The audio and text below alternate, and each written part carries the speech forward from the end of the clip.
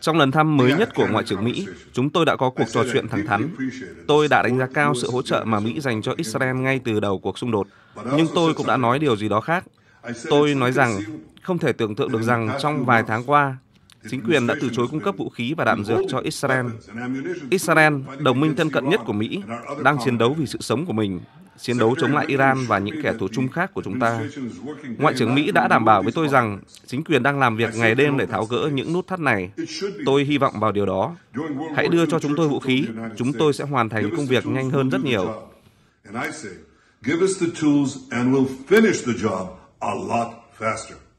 Đó là tuyên bố của Thủ tướng Israel khởi nguồn cho những căng thẳng phát sinh giữa nước này và đồng minh Mỹ.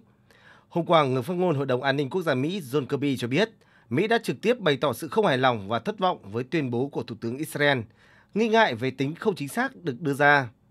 Cùng ngày, Cố vấn An ninh Quốc gia Mỹ Jake Sullivan cũng đã họp với hai trợ lý hàng đầu của Thủ tướng Israel để thảo luận về cuộc xung đột ở giải Gaza và các vấn đề khác. Các cuộc đàm phán tương tự cũng được mong đợi giữa Ngoại trưởng Mỹ Antony Blinken với phía Israel trong ngày hôm nay. Ngoại trưởng Mỹ Antony Blinken khẳng định các chuyến hàng vũ khí, ngoại trừ một chuyến hàng có bom lớn, đang được chuyển giao như thường lệ khi Israel đang phải đối mặt với các mối đe dọa an ninh bên ngoài giải Gaza, bao gồm cả từ Hezbollah và Iran. Và người phát ngôn Bộ Ngoại giao Mỹ Matthew Miller cũng thừa nhận đang có một lô đạn dược có trọng tải lớn mà Mỹ đang xem xét, nhưng đây không phải là nút thắt mà là việc xem xét lại chính sách.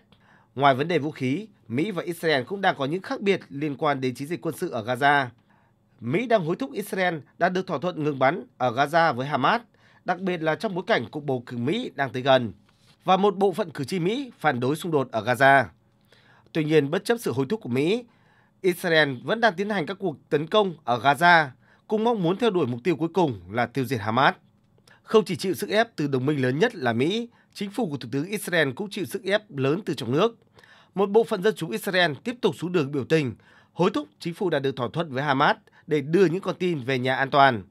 Thậm chí hôm qua, những lời kêu gọi bầu cử sớm lại quay trở lại trong bối cảnh Israel vừa giải tán nội các chiến tranh do những bất đồng về chính sách.